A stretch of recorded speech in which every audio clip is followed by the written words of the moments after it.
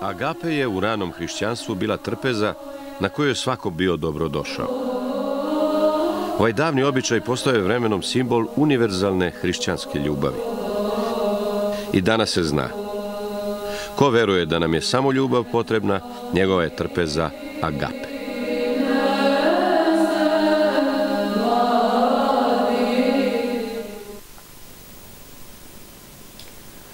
Poštovani gledalci, dobroveče, gledate emisiju Agape. Večeras ćemo govoriti o Nikoli Tesli sa gospodinom Velimirom Abramovićem, filozofom, inače najboljim poznavalcem lika i dela Nikole Tesle. Gospodine Abramoviću, dobroveče i dobrodošli u Agape. Hvala. Hvala za ovu, da kažem, ocenu.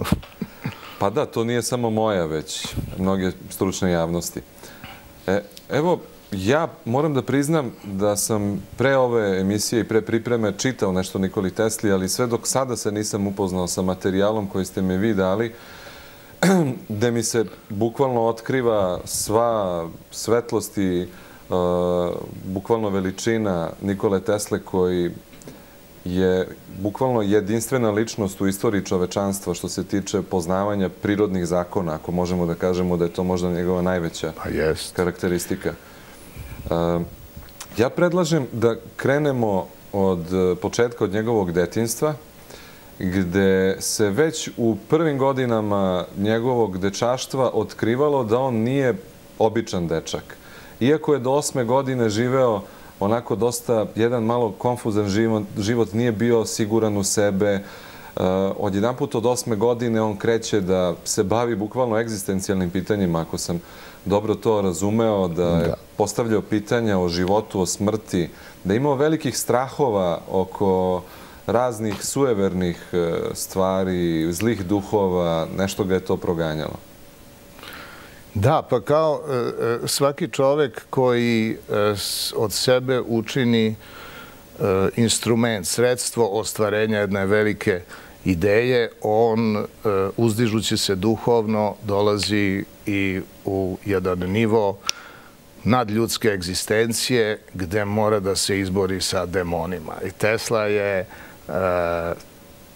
pre svega bio svet čovek. On je zapravo ono što bismo mogli nazvati uh, Nirmana Kaja, možda je to najbolje. Mi nemamo u našoj pravoslavnoj nomenklaturi tako dobru reč.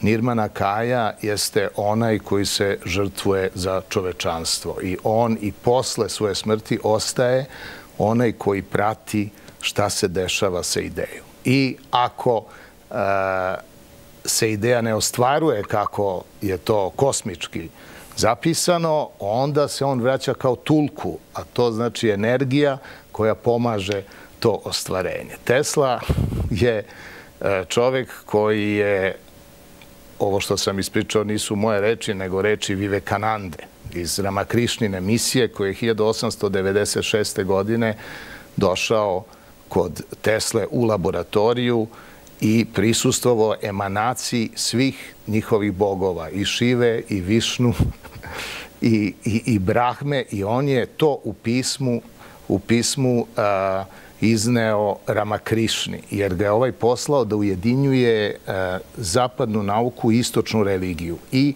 u tom trenutku e, duhovni ljudi Indije su sa velikim prezirom posmatrali tehnicizam, tehnologiju i materializam zapadnog sveta. Dakle, Tesla je bio taj koji je pokazao uh, Vivekanandi, što je ovaj priznao, ne u jednom pismu, nego u nizu pisama, da u stvari postoji duhovnost tehnologije. Znači, mi e, možemo i iz nauke da, osnije, da osnujemo nešto što ima odlike religije, jer u stvari postoje naučni zakoni koji su čisto duhovnog karaktera i postoji transcendencija, pre svega u, u kosmologiji, znači postoji pokušaj da se shvati stvaranje, stvaranje sveta. I odmah da kažem da nigde nisam kod Tesle našao nešto direktno o tome kako je svet, svet stvoren. Što je vrlo interesantno jer zapravo najdublja kosmološka filozofija, pre svega antičke Grčke, upravo zabranjuje čoveku da misli o bogovima. Zabranjuje ne u smislu, u smislu da ne sme da misli, nego da to može dovesti do takvog otuđenja psihičkog koje vodi u, u ludilo, jer o bogovima nema znanja. I toga se Tesla u stvari držao čitavog svog života. Dakle, on je kao mali dečak već se suočavao sa tim problemima, e, fleševi, bljeskovi koji su mu se javljali, koji su mu stvarali i određene glavobolje. Jest. I on nije znao kako da izađe na kraj sa tim. Plašilo ga je to jako. On je imao, pa pre svega vrlo, kao vrlo mali počeo je, e, počeo je sa budnim snovima. Znači, on je bio vizionar e, čitavog svog života, već sa 12 godina bilo mu je jasno da igrajući se, igrajući se na potoku koji protiče kroz Vaganac, kroz Smiljan, on je stavio točak, jedan mali, u, u potok i napravio turbinu, a pre toga je video jednu dagerotipiju Nijagarinih vodopada i rekao svom ujaku Petru ja ću jednog dana ovakav točak, ali mnogo veći napraviti na Nijagari. I to se stvarno desilo. To nije jedini, jedini e, e, trenutak njegove anticipacije kasnijeg života. Bilo ih je u stvari vrlo mnogo e, i on je čovek koji je vladao telepatijom u potpunosti i takođe jako dobro hipnozom. Tako da imamo i te, i te osobine. O čemu svedoče, svedoče njegovi prijatelji. Naprimjer, kad je u Njujorku izveo dva boksera, brać, braću Živić, koji su došli iz Like sa preporukom da im, da im Tesla pomogne u karijeri. Kad ih je izveo, izveo na večeru, bio je prisutan i uh, John O'Neill, to je naučni, vrlo važan čovek i Tesin biograf, on je uh, na, naučni tada bio dopisnik New York Timesa i bio je tu takođe i Miloš Tošić, e, pukovnik s kojim se ja lično razgovarao i kojim je ovo lično sve opisao, e, naš vojni ataše u konzulatu u Njujorku. Dakle, oni su sedeli, braća Živić su jeli velike, velike bifteke, Tesla je već bio vegetarijanac i hranio se uglavnom kombinacijom uh, luka i celera. I tako supicama, vrlo, mislim, ovaj, jako skromno u stvari je već tada, već tada je bio asketa. I e, u jednom trenutku braća Živić kaže, kaže mi Milo Tošić, vidimo oni očajno gledaju, razgoračili oči, a ja sam kažu, pokušao da, da se pomerim i nisam mogao da pomeram noge. I okrenem se, okrenem se prema Johnu Anilu, a on se smeje. Kaže, pa Tesla nas je sve hipnotisao, Znate, i Tesla počne se smeje i pucne prstom i rashipnotiše ih. I tada kaže braći Živić, samo sam hteo da vam pokažem snagu uma vama, bokserima, gospodo. Dakle, Nema on... boksovanja, znači, kad...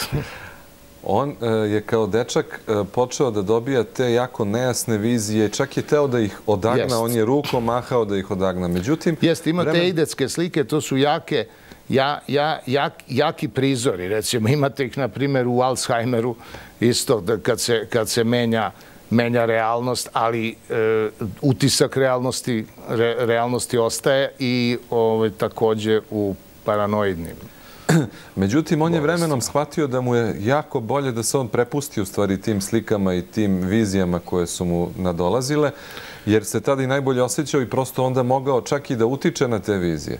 I šta je specifično u stvari? Zbog čega on je jedinstven? Da je on bio jasno video sve svoje vizije i sve aparate mogao bukvalno da sklopi, rasklopi da. i pokrene u toj viziji. Osvojio je zapravo kontrolu psihičkih slika. I čak je govorio o refleksnom dejstvu mozga na retinu.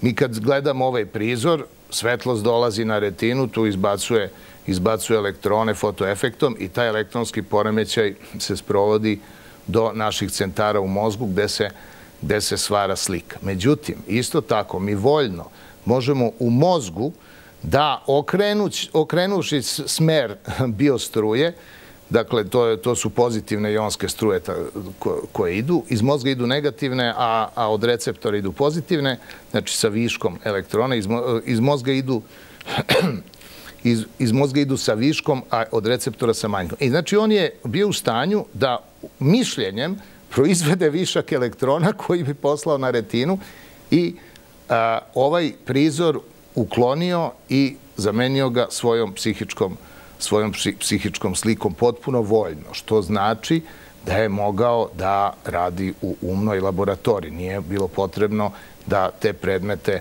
fizički izgrađe. E sad, šta je tu problem? Tu je problem što su to bili aparati što znači da je on u okviru te geometrijske slike koje je proizveo kao psihičku sliku ispred sebe i zamenio njome stvarnost, takođe tu bio u stanju da utisne određeni prirodni zakon. Znači, on je preko zakona proizvodio sliku, pa je onda gledao kako u toj slici taj zakon radi. I kad bi to proradilo u njegovom umu, uvek kasnije je radilo u laboratoriji. Zato je bio uvek lepo odeven jer nije ništa radio, kako je ako nije se prljao. Onda se tačno zna šta mu treba i zamoli majstore da sklope te delove i to je bilo to. I to je takođe objašnjenje ogromnog broja patenata, preko 700 i još ima oko 250 patentnih prijava koje nikad nije odneo u patentni biro, koje su u muzeju i koje, koliko ja znam, niko ozbiljno nije pregledao. Mislim, vjerojatno tu ima otkrića tesenih koje nisu nikad primenjene. Evo još malo samo o njegovom tom mladalačkom dobu. E, predrasuda je da je on uvek možda živeo povučeno, čak i bez žena. Upravo e, ste da, govorili da je on, na primjer, isteran iz Maribora zbog nedoličnog života, kockanja. Jest, to je jako pogodilo njegovog oca i tako dalje. Pa zbog kockanja tu se... I moj strast kockanja. Pominje čak i svedočenje Mimi i Fifi u njegovu korist, ali to nije pomoglo ništa u Mariborskoj policiji. To su pa prostitutke, je li tako? Ja tako pretpostavljam. I e, na bilijaru zarađivao novac jer je izvaredno igrao bilijar, ali je igrao i, i karte i poker. I onda kad mu je majka dala poslednje pare da isplati neki kockarski, kockarski dug i tako dalje, onda je prekinuo sa tim i više se nije kockao. Praktično ga izlečila time kada je iz Slamarice valjda iznela sve posljednje što imaju kući, kaže evo ti, kaže da završimo s tim. Da, to je lepo. To je, to je jedan u stvari gest duhovne ljubavi koji je bio isceljujući za njega. Mada, služajte, on je toliko, to, toliko jak duh i to je toliko jaka ideja bila u njemu da bi se to verovatno desilo desilo i samo. Jer e, svi veliki ljudi, oni su i veliki grešnici dok se sami ne očiste, dok Bog u njima sam ih ne pozove na promenu. Pa gde je taj trenutak e, te metanoje Tesline, ako može o tome da se govori? Pa izgleda da je taj, da, da, metanoja, to su kao nagla promena ličnosti, ako tako, da. tako to posmatramo. To je izgleda bilo u trenutku kada e, se on razboleo navodno od kolere, a razboleo se zato što njegov otac nije želeo da on studira inženjerstvo, nego da bude sveštenik, jer su oni bili sveštenička porodica. Devet sveštenika su imali u porodici takođe i vladike. I prosto I iz drugih razloga on je mislio da jedan pametan čovek treba da se da se okrene teologiji i ozbiljnim pitanjima, a ne da konstruiše aparate, jer su inženjeri nisu bili cenjeni kao danas, nego su to bili tako majstori, a ostalo je još i ono srednjovekovno da su u stvari inženjeri e, na neki način povezani sa demonima, jer šta oni zapravo rade. Tako da, da je, a Tesla, Tesla imao taj strašno jak poriv i njegov zapravo profesor u Gospiću, profesor fizike Martin Sekulić je izgleda odigrao veliku uh, ulogu buđenja uh, tog pronalazačkog dara, dara u Tesi. Tesa o njemu naj, najlepše govori i kad se razboleo, e, posle toga otac, kad su već misli da će da umre, on je imao, mislim, karakteristike te bolesti su bile vrlo čudne. Između, ostale, između ostalog imao je danima flater, podrhtavanje pulsa, znači nije mogo da mu se meri puls. To je, posle infarkta se to dešava, ali to se dešava po, ne znam, kratko, vrlo kratko vreme, u sekundama, već niko nije to bilo satima. I lekari su smatrali da je on u stvari praktično da umire, ali eto, jaka konstitucija pa će preživeti još koji dan. I onda je otac ušao kod bolesnog Tesle i rekao studiraj šta hoćeš, radi šta hoćeš. Znači, i otac je bio svestan koliko je važno to bilo samom Nikoli i on je onda ozdravio i kaže da su mu tu pomogle jako mnogo knjige radijantna energija Vilijema Kruksa, koga je kasnije upoznao i s kojim je bio prijatelj, i takođe Huckleberry Finn Marka Tvena, koji, koga je ovaj, takođe Tesla, Tesla kasnije upoznao. E, to je vrlo da, bili čudno. su veliki prijatelji, čak je i Mark Twain napisao jednu novelu o njemu, je li tako? Napisao je novelu, ne sumnjao, pa da, malo austrijsko selo, mislim, to je da. Smiljan, li? O, o, o Anđelu koji o Anđelu koji, jest, koji menja ljudske sudbine. Jer, jer e, to je vrlo interesantno. I očigledno mu je Tesla to pričao. Mislim, to je iz razgovora iz razgovora s Teslom, jer e, tu ima jednu naučnu osnovu, čak i matematičku. U e, sumerskoj kosmogoniji Sumeri su razlikovali dve vrste sudbine. Jednu koju je moguće alternirati i to je ljudska i drugu koju nije moguće alternirati i to je božanska. A za bogove su mislili da su to brojevi.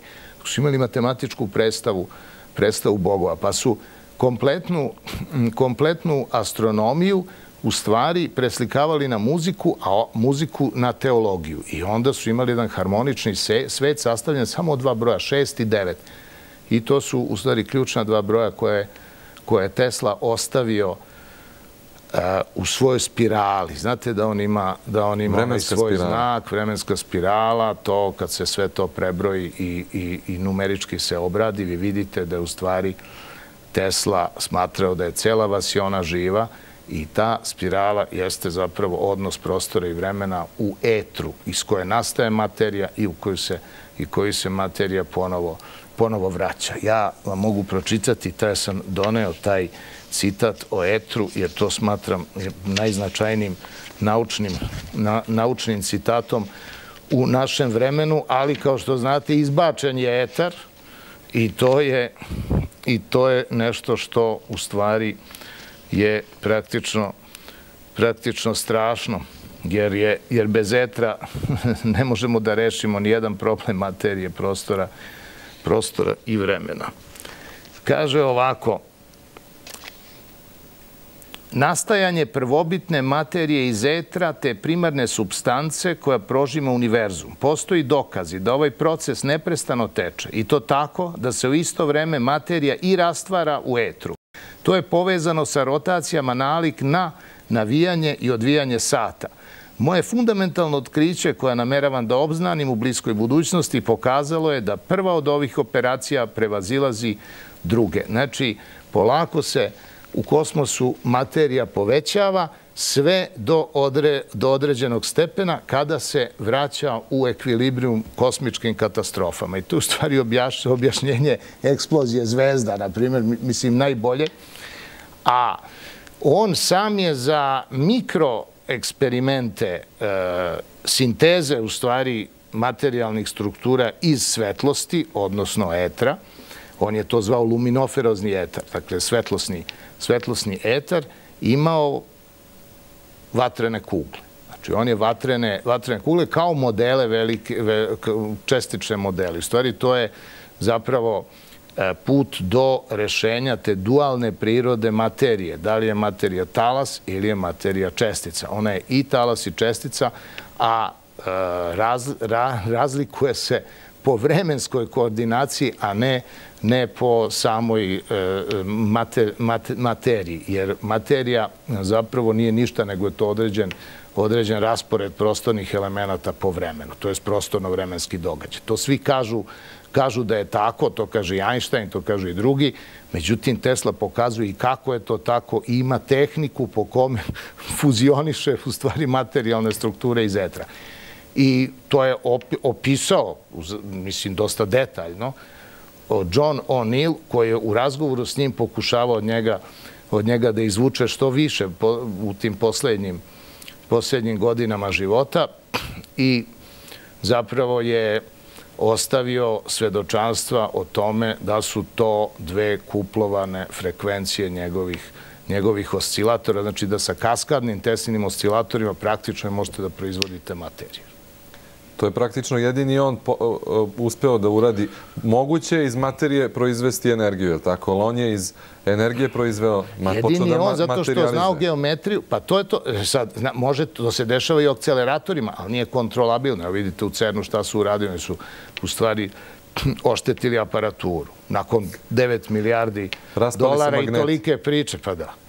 Da, mislim, dva snopa, dva snopa protona su se sudarili i onda je nastao Voltin luk. To je, dakle, testino električno pražnje. Gde god su magneti i kretanje, naravno imati elektricitet. E, to su oni hteli da izbegnu, oni su bili svesni da će se to desiti, ali to je bilo takve snage i očigledno ceo eksperimentalni set nije zapravo prilagođen pravoj prirodi materije, što znači da oni pojma nemaju šta se u tom kolajderu dešava. Svih e, magneti su po dve, dve i po tone težine i u stvari dva magneta su se pomerilo od, od tog voltijenog luka, a tečni helijum koji hladi kolajder je iscureo i nastara ogromna, ogromna šteta, pa 53 od 57 magneta treba da se reinstalira, a svi su po 2, 2,5 tone, zavisi kako koji. Drugim rečima, jedna ogromna, ogro, ogromna aparatura, veoma skupa, koja u stvari ne daje nikakve rezultate. Praktično je i štetna, zato što daje utisak e, e, svetu da naučici nešto rade, da oni nešto razumeju i samo da im fale fondovi, međutim to nije tako, oni stvari ne znaju šta radi, to je očito. Dok je kod Kod Tesle sasvim druga situacija. Znači, on ima, on ima viziju svog pronalaska, on ima sjajne eksperimentalne rezultate i izuzetno jednostavnu matematiku, matematiku za osnovne škole. Praktično je sve 2 plus 2, 3 plus 4, tu i tamo neki koren, ali on ima fizičku interpretaciju matematičkih operacija, što je najvažnije da bi se eksperimentalni set funkcionisao kako se očekuje, znači za predviđanje.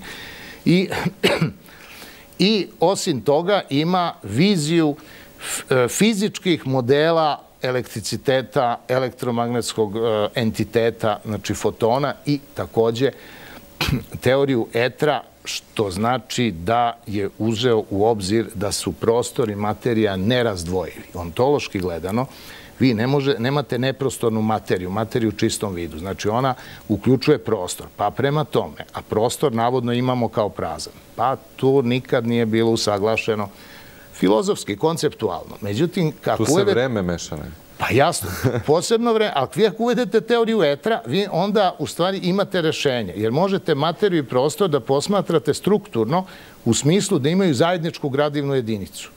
I to je u stvari elektro, elektromagnetski entitet. To je ono što zovemo foton ili svetlost ili radiotalas ili kako god hoćete. I u stvari e, e, diskretni prostor i diskretna energija je jedno te isto. I to, to, da je to jedno te isto, Tesla je pokazao, jer je sa svojom teorijom metra imao daleko bolje rezultate nego svi oni drugi koji rade bez, bez te teorije. Tako da kvantna mehanika ne zna recimo koja je osnovna opeka materija, eto sad i Higgsov bozon, pa Božija čestica, međutim ništa. Treba sve više para za, za sve skuplje aparate koji, koji ne, daju, ne daju rešenje. I, a, a dok je Einstein mučio, se, Einstein se mučio pojmom sile, pa je Tesla recimo učinio jednu primetbu teorije relativnosti, Einsteinu vrlo, vrlo osnovanu primetbu. Je rekao, ako u blizini velikih veli, se, ako se u blizini velikih masa zakrivljuje, zakrivljuje prostor, znači imamo u stvari gravitacionu, gravitacionu silu sa dejstvom, ali bez reakcije.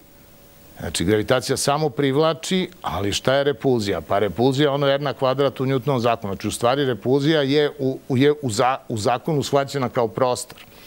E, kod Einstein, Einstein je pokušao znači, da, da silu geometrizira, pa onda tela po zakrivljenom prostoru idu pravo. Pošto je prostor zakrivljen, onda zakrivljuju i ona.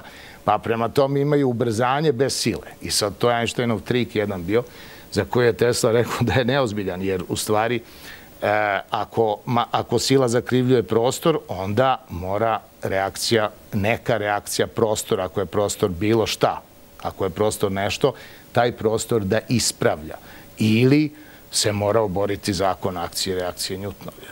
Ili jedno ili drugo, znači ne može da važi obo, oboje. E, pošto smo mi rešili da napravimo dve emisije od po sat vremena, ja bih da. hteo da napravimo ipak jednu hronologiju kako je on to krenuo u studije Gracija, tako, Beč, međutim ništa nije završio od toga.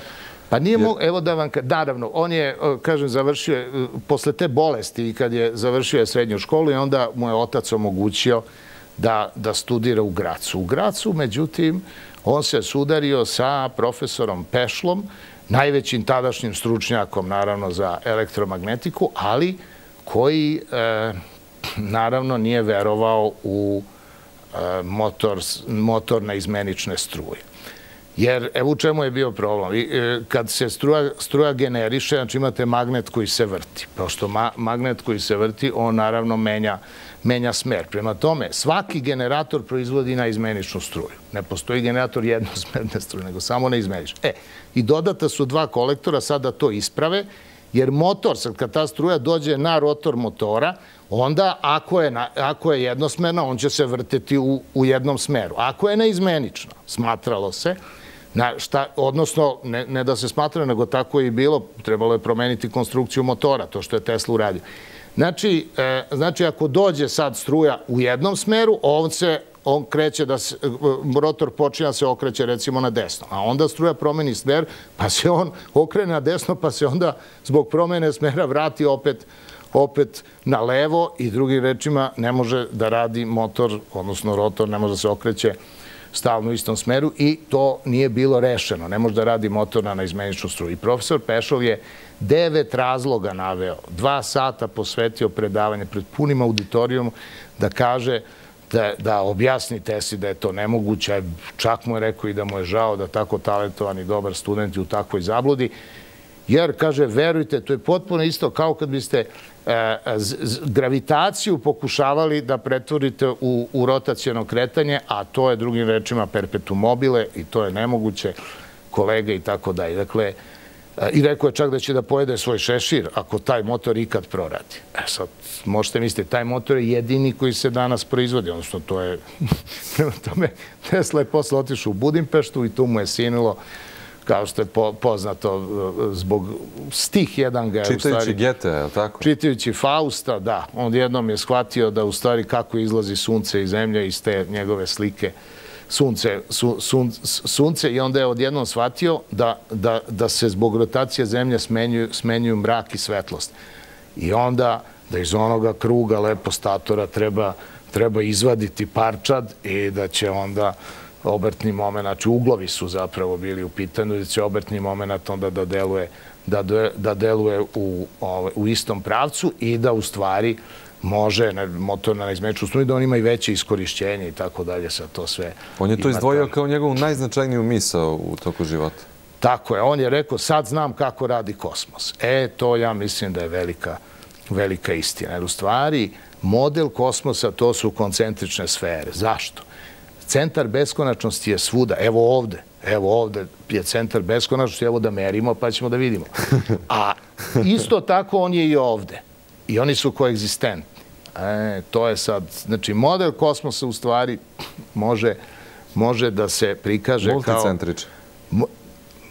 Prvo što je tač, prvo što, što u stvari e, je beskonačnost sa makoliko centara u koegzistenciji, znači multi, multicentrična, ali to opet e, znači konkretno u tesnom slučaju da je mogo bilo koji centar da izabere za centar kosmosa i da tu prikaže sve iste zakone koje, koje možete da prikažete i na ovim galaksijama što se udaljavaju na, na rubu našeg teleskopskog svemira. Sve to može, jer u stvari svemir je svude i svi su uslovi sadržani u bilo kom nivou egzistencije. To nije imao takav pristup, pa prema tome je u stvari otkrio nešto što su opet znali stari kinezi, to je vrlo interesantno. E, a to je da u stvari sa tri koncentrične sfere, jedna u drugoj, vi možete, možete prikazati sve kosmičke zakone. I on je bio Pitagorejac, Tesla, rođeni Pitagorejac. A opet Pitagora je bio sumersko unuče, jer Sumeri su bili prvi ti koji su, koji su počeli, počeli ta znanja, a sad Tesla kao veliki mag, jeli, on je bio praktičar. Sve što je zamislio, on je praktično praktično sprove. Nema ni jednu zamisao koju, koju nije eksperimentalno pokazao. Druga je sa stvar što ljudi u neke ne veruju pa ih ne ponavljaju, druge su uzete, sakrivene, rade razni instituti, vojni, ovakvi, onakvi. To je druga priča. Ali on u, u suštini nema, ne, nema nemogućih projekata. Sve, sve radi. Koji su to onda osnovni postulati prirodnog zakona? Osnovni postulat u stvari je, pa to je, da, to je sad, zapravo prvo mi imamo jednu sigurnu metodu, jednu jedinu koje je u ostalom Tesla koristio spontano, jer je bio u stanju da to vizualizira, to je geometrija. Či geometrijski, ge, geometrijski pristup je a, najbolji.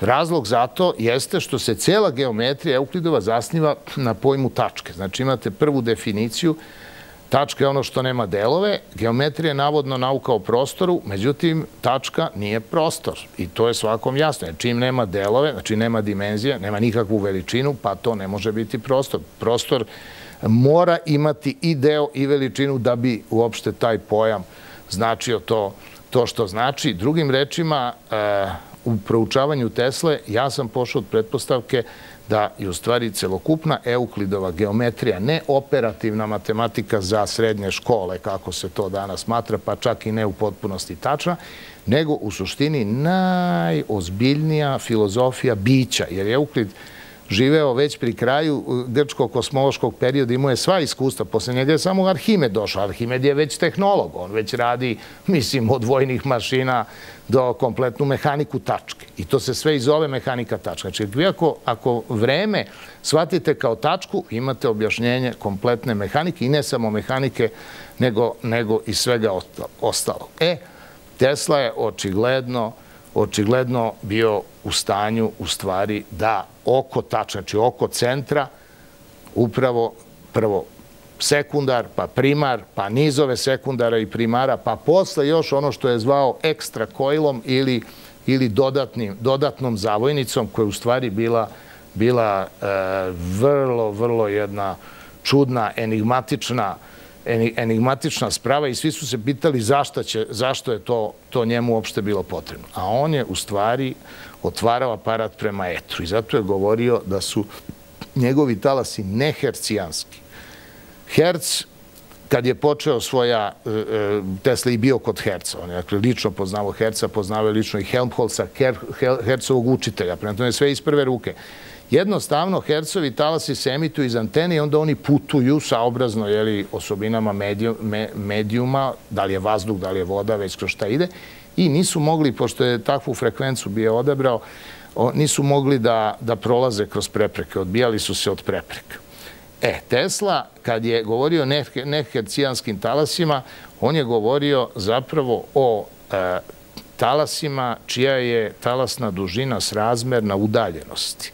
Dakle, prenos je trenutan u T0 i ako pogledate sve e, Tesine kalkulacije, vidite da on ne kalkuliše vreme prenosa. A zašto? Ako treba da prenese nešto na 5 km, on emituje talasnu dužinu od 5 km. A indukcija oko antene, te talasne dužine koja izlazi iz oscilatornog kola, jeste u T0. Znači, prvi talas nastaje, nastaje kao kao uh, induktivna promena, promena u prostoru i on nema vreme nastaje, on nastaje trenutno. Znači, po, on jednostavno video kako se talasi emituju, pa ekstrapolirao taj princip na putovanje talasa i normalno da je dobio najbolje rezultate, odnosno mogo je da prenosi talase, ta, talase be, od besko, beskonačnom brzinom pa i da se igra kroz zemlju i oko zemlje. A, e, pa je, na primer, e, zavisi naravno od frekvence, ali e, i ne samo frekvence, nego i od envelope, od oblika talasa, pa i od modulacije. Ima tu sad svega i svačega. Te se je vladao svim tim stvarima, apsolutno, mislim, ne, potpuno imao imao tako reći, tako reći fizičku predstavu tih pojmova i tih matematičkih veličina. Nešto što, što ljudi danas nemaju. Danas je nauka pa može se reći veoma zaostala u odnosu, mislim po duhovnom nivou, u odnosu na, ne samo na Teslu, nego u odnosu na kompletno kompletnu istoriju od 2000 godina. Čak, čak bih rekao da se nikad ovako ograničena populacija ljudi sa ovoliko državnog prava, diplome, doktori i tako dalje, nije bavila mišljenjem. To je jedna ozbiljna stvar. Evo, imate emisiju BBC-a dođu, na primjer, na observatoriju i vidi se žena, misli svaka čast, ali domaćica, koja je odličan učenik na MIT-u i sad pita nju novinar, dobro, molim vas, kako je nastao kosmos i ona mrtva, hladna, objašnjava kako je nastao, o čemu nema pojma. I toga, mislim, imate, imate to kao normalnu pojavu danas. Dakle, duhovnost, duhovnost naučna i čak poštovanje prema duhovnim ljudima je u strašnom padu. I sad u stvari dolazi do, do promene. Mislim, prosto ljudi se sklanjaju iz, iz javnosti i rade potpuno sami. Sad najbolje ljude ne možete više uopšte ni da nađete, ni na internetu, nigde. Mislim, drugčije se organizuje. A Tesla je bio poslednji koji je pokušao da javnost ubedi da podigne čovečanstvo i, po, i bio u stvari ne, ne, neviđeni filantrop. Mislim, čovek, č, č, voleo je čoveka i želeo da sva ta svoja znanja prenese, ali naravno susreo se sa vrlo teškim okolnostima, nerazumevanjem. Mislim, jer e, da se vratim na neke čijanske talase u dve reči. Znači, on je, on, on je bio u stanju da se igra, pa da po kosinusnom zakonu, zakonu brzina, emitujući talase iz Njujorka do severnog pola i, i do ekvatora, on je bio u stanju da, da od trenutne brzine spušta brzinu do 300.000 km u, u, u sekundi do brzine svetlosti. Znači, od beskonačne do te, znači 300.000 mu bila minimalna, prosto se igra. Imate zapise, zapise o tome ovaj, uh, u njegovim uh, u njegovoj naučnoj, naučnoj dokumentaciji, znači kompletne eksperimente opisane i sve to, niko međutim neće da ponovi. To je vrlo interesantno. Evo, na primjer... Neće ili ne može? Pa ja bih rekao da je psihološka prepreka u pitanju, jer bi to onda to počelo da mora, da mora da promeni celu nauku. Mislim, priznavanje Tesle nije prosta, prosta operacija. Znači, vi morate potpuno, da kažem, naučnu zajednicu da, da, da ovaj, destruirate u, u, u, pogledu njenih prava i znanja, da bi jedna drugačija naučna duhovnost e, e, stekla u stvari zvanična, zvanična prava na postojanje. I vidite da, evo recimo, njegov arhiv od 52. godine navodno nije još uvek popisan. Pa mislim, pobogu, a sad je 2009. A samo objavljivanje tog arhiva, bez ikakvih komentara, bi promenilo praktično kompletno savremenu fiziku. Jer fizika je sada zakočila, recimo, nauke kakva je, kakva je biologija biolozi postavljaju pitanje vremena. Jer očigledno da u svakom biološkom sistemu postoji interno vreme i da, na primer, ne znam, u, u, u embrionalnom razviću e, vremenske sekvence e, razvoja su identične Fibonaccijevom nizu. Znači, te neke stvari, očigledno postoji jedna mistična pitagorijska matematika koju biolozi pošto nisu zainteresovani da čuvaju predrasude fizičara i matematičara, vide a nema i nikakvo pokriće u promeni koncepata u fizici. Tako da, u stvari, e, zaostajanje fizike koči celokupnu svetsku nauku i Tesla bi tu otvorio sve to. E, mislim da ste malo predali sjajnu uvertiru za možda najveličanstvenije e, Teslin projekat, to je Long Island i, i kula Wondercliff. Jest. Pre, pre, pre toga Colorado Springs, jer to je mhm. povezano. On je 899. Mhm. godine otišao u Colorado i tu je otkrio neverovatne stvari. Prvo, otkrio je stacionarne talase, to s čime se sada mnogo radi, koji, koji, kojima je u stvari on bio u stanju da, da, da prenosi energiju, pa čak i da pobudi zemljino polje i da pali recimo e, e, više, više lampi znači u energetskom, u energetskom integralu od količine energije koju šalje iz emitera. Šta to praktično znači? Znači on recimo emituje, ne znam, 400, 400 kW, ali e, tako podesi, podesi taj talas ili neku drugu frekvencu da pobudi zemljeno polje. I onda oko laboratorije samo sijalice pobada u zemlju. Ali možete tako da upalite, kad pobudite zemljeno polje, sijalice na celoj kugli mislim sa jednim vrlo malim energetskim inputom. Znači, otkrio je, i to je on zvao magnifying transmitter, to je uveličavajući predajnik. Zašto uveličavajući? Pa kaže, zato što mi po jednom vrlo jednostavnom kosmičkom zakonu dobijamo u stvari iz spoljnih polja više energije ako, ako znamo pravu šifru pobude, ali moramo, moramo je znati. Mislim, kako, to je najbolja ilustracija ovo, recimo, uh, uh, ide čovek ulicom i vi ga zovnete Milane, on se neće okrenuti ako se ne zove Milan. Znači, nije samo reč, a, ali onda ako kažete Jovane, On se zove Jovan, vi ste pokrenuli 100 kila. Znači, vaš energetski input je mali, a e, e, ogroman je materijalni output. Ili kad telefonom zovete taksi, vi možete 3 tone čelika sa zvezdare da pokrenete jednim telefonskim razgovorom. Pa očigledno da taj zakon o konzervaciji energije, ne, radi vertikalno, radi horizontalno. Ceo menadžment vam je kompletna ekonomija radi na manjem inputu od outputa. Pa to je upravo kritika u Marksovom kapitalu, da, da to mora biti jednako, ako jednako nema ekonomije i tako dalje. Mislim, to je, to je ovaj, i sad Tesla je, Tesla je u stvari tražio upravo to, znači niz, niz uh, re, rezonancija koji, uh, koje tvore domino sistem, Tako da se praktično sa vrlo malim energetskim inputom, telefonski, kako se on izrazio, moglo upravljati celom planetom, ako se pomoću ovoga tornja Vardenklif cela planeta uhvati u rezonansni sistem. Znači, vi Trebalo jednim signalom... Trebalo je u stvari pet kula, jedna na severnom, na južnom polu, Amsterdamu i u Kini. To je bila ideja, da. E, onda je on shvatio. To je trenutak u stvari kada je on potpuno promenio promenio svoj način mišljenja i e, počeo da radi jednim delom potpuno tajno, a jednim delom mnogo manje značajnim radio je, radio je javno.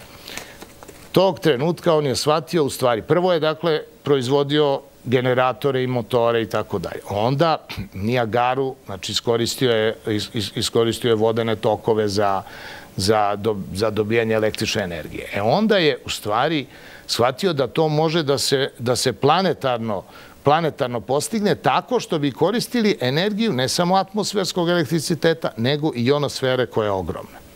Jer e, ionosfera varira, varira u visini od 50 do 70 km, 50 km zimi, 70 km leti i tu su praktično ne, ne, ne, neograničene količine struje. Tip struje koji, e, koji ide u ionosferi je potpuno isti kao onaj koji ide kroz ljudske nerve. I, o, i, i sve frekvence atmosferske su frekvence na kojima radi ljudski mozak ili biološki sistemi. To je sve podešeno. Tu se radi u stvari u jednoj potpunoj harmoniji. harmoniji. To su, dakle, fre, frekvence ljudskog mozga su negde do, do 50 do 50 Hz i to su ta takozvana Šumanova, Šumanova polja. Naprimer, mi sad, da kažem, malo smo uzbuđeni, mi smo možda na 15-20 Hz sada, ali re, relaksacija je između 5 i 6 Hz, to je, to je rezona, rezonanca zemlje. I čovek kada iz budnog stanja pada u san, on u stvari hvata rezonancu sa, sa tlom frata i, i, tog, i ne samo sa tlom, nego i, nego i sa nižim slojevima, slojevima atmosfere. I u stvari e, e, mi smo jedna elektromagnetska mašina, to je Tesla otkrio. Ali, što je najvažnije, što je uradio u Colorado Springsu, On je, pošto je stalno bio, sećate se, on je jedan, jedan veliki, u centru ima jedan veliki sekundar, pa onda ima 5-6 metara, pa onda ima jedan ogroman primar. I on je stalno bio tu, tu se i slikao sa, sa ovom knjigom, sedi, sedi ovaj, u stolici i čita Ruđera Boškovića, teoriju prirodne filozofije, koga je on jako, jako cenio. I e, a cenio je Boškovića zato što je Bošković u teoriju materije imao Faraday, a Tesla je nastavio Faraday.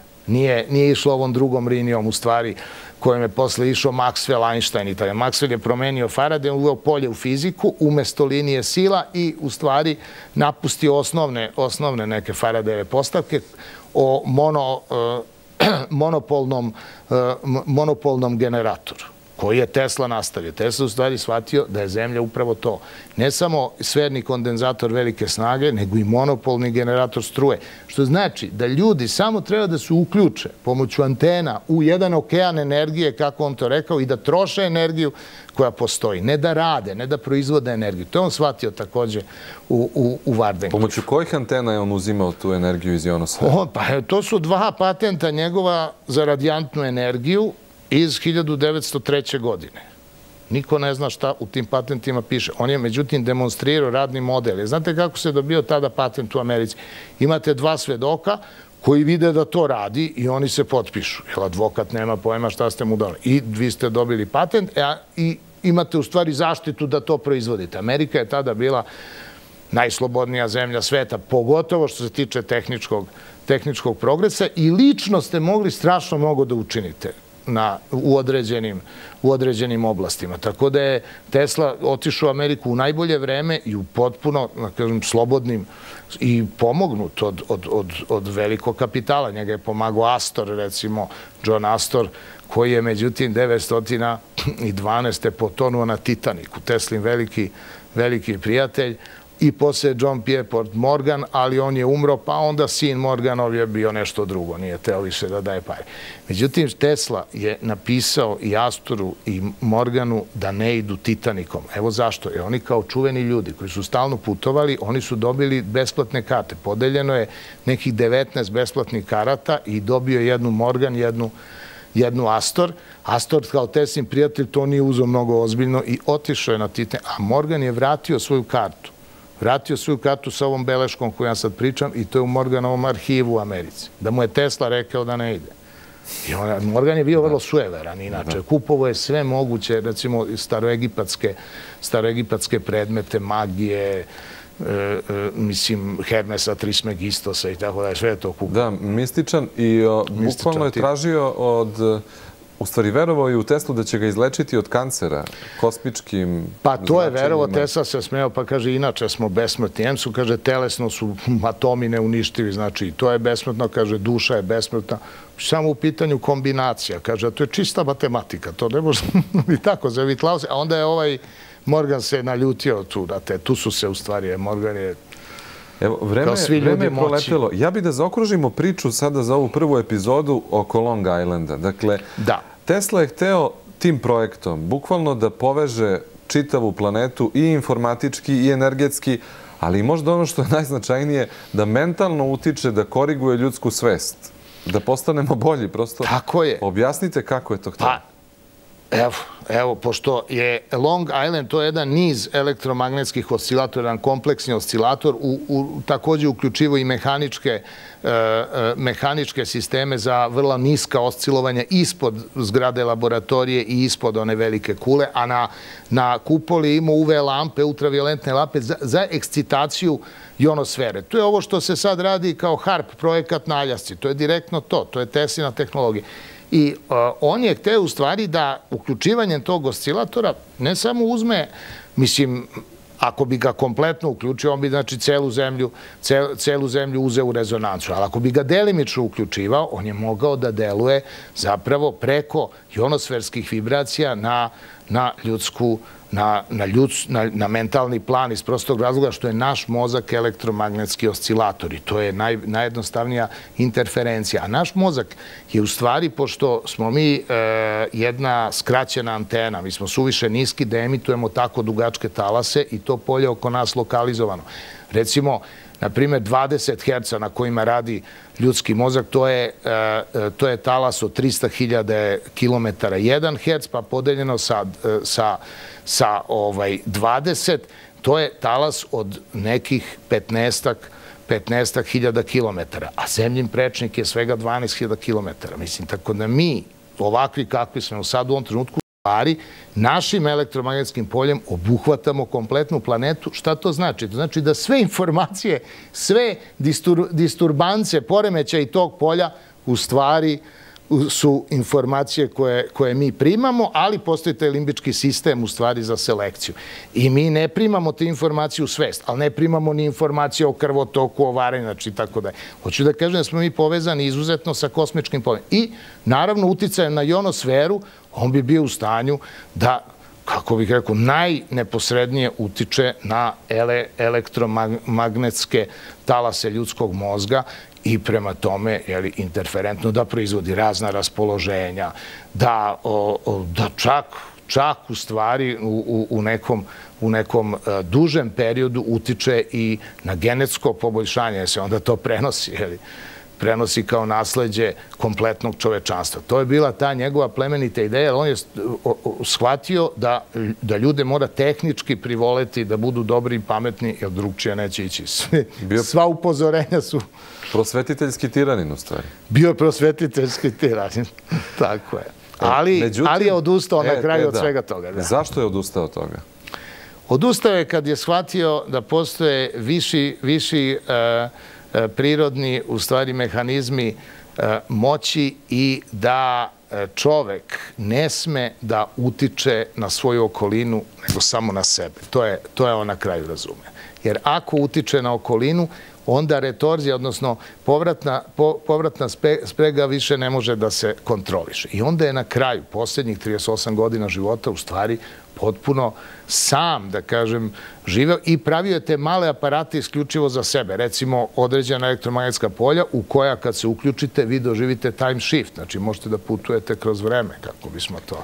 Da, to ćemo ostaviti sve te ovaj, teme za sledeću emisiju o inženjeringu vremena, takozvanom koji je on je on upravo inženjer, radio. ceo njegov inženjering, ove vatrene lopte, ta sinteza u stvari e, energetskih struktura iz svetlosti, direktno iz prostora, iz elektromagnetskog spektra, to je zapravo fuzija, to je rešena fuzija. To je on pokazivo ljudima. E, e, baš sam čitao i izjave raznih ljudi koji su bili, koji su stanovali pored Long, Island je bilo njujorško letovalište, tako? Jest. Izletište, pardon. Jest. A Vardenklif je bio vlasnik, po tome je Kula Vardenklif. To je čovjek koji je, od koga je on kupio taj ne. I oni su svake noći malte ne gledali tu neke spektakle, šta se dešavalo, gde su ti... Kula je probana. Jeste. 1903. U julu mesecu Tesla je zapalio stotine kilometara ionosfere nad Atlantskim okeanom, pošto, pošto je to ostrvo direktno na Atlantiku. I to su ljudi gledali i o tome, o, o tome postoji izveštaj u New, New York Sun, New Yorksko sunce se zvao i dobro se zvao i, i, i, i list.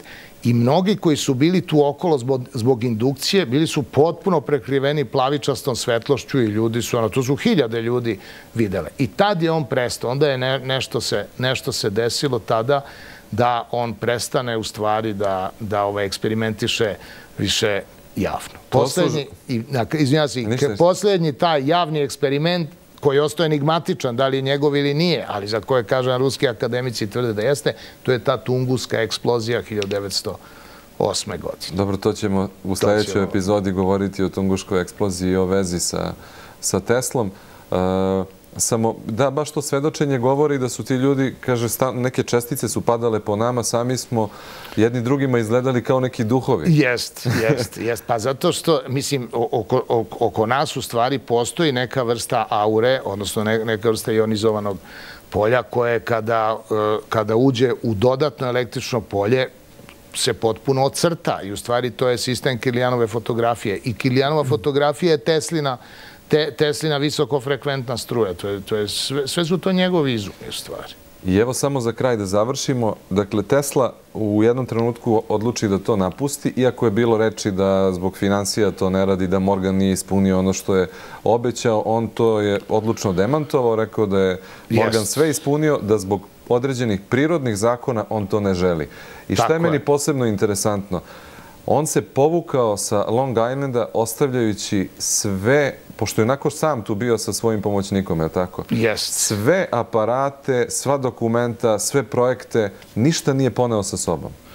Ništa od toga tačno. Jer, jer je u stvari odlučio da se da se povuče. Postoji priča da je u tom trenutku on doživio neku vrstu nervnog sloma. E, To je zapravo Mike Seifert koji je psiholog pa je pisao doktorat o Tesli, u Amerikanac. On je analizirao grafološki njegov rukopis pa tvrdi da je bio u specijalnom, u specijalnom stanju. Što ja potpuno shvatam, jer on je bio našpanovan da bude pronalazač, da stalno on nešto rukama radi, znači umno, pa rukama i da to nešto, i onda je odjednom shvatio da je zapravo ta savršena mašina koju on želi da napravi već napravljena, da je to taj kosmos u stvari koji radi potpuno potpuno savršeno i da je to božanska mašina koju mi ljudi samo pokušamo da shvatimo, jer mi smo imitatori prirode, mi smo rekreatori, mi nismo kreatori.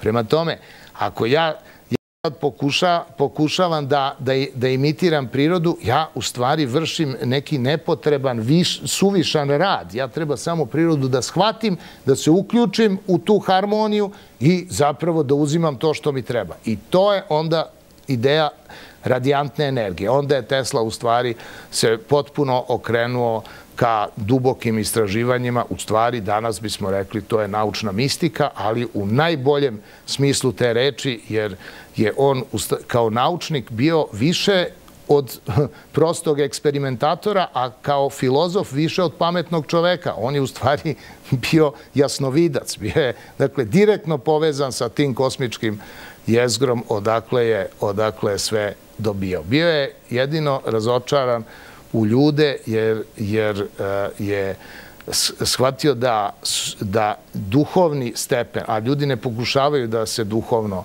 duhovno podignu, da se duhovno usavrše, određuje taj jedan nizak, e, nizak nivo događaja. Znači, stalno su ratovi, stalno neko pokušava da stekne neku ve, veću moć nad drugim, onda ne čini dobro i onda kad mu je to veoma lako i tako da. I onda je Tesla shvatio da u stvari to je jedan psihički blok čovečanstva za koji on nije odgovoran i koji on ne može da promeni jer nije on stvorio kosmos. I onda je počeo u stvari da shvata sve, sve iznutra. I taj deo njegovog života je zapravo ključan.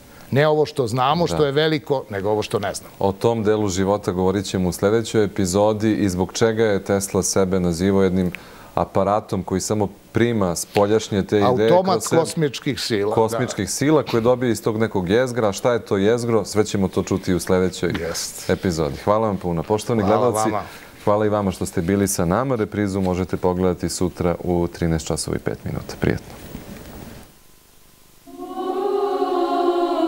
Agape je u ranom hrišćanstvu bila trpeza na kojoj je svako bio dobrodošao.